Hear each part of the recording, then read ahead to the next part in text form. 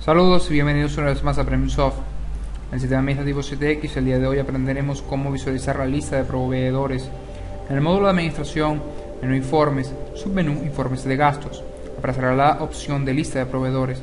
La pequeña ventana que se muestra a continuación posee los parámetros indicados para establecer el informe de la lista de proveedores, puede bien sea por código o alfabéticamente, y los registrados desde una fecha hasta otra fecha. Este será desde enero hasta el mes de mayo.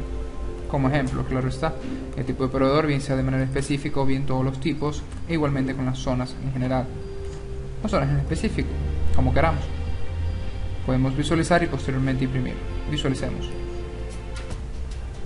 El informe que aparece a continuación nos muestra la lista de proveedores registrados en el periodo previamente establecido, sus códigos, su nombre, desde cuándo está, el contacto y los números telefónicos.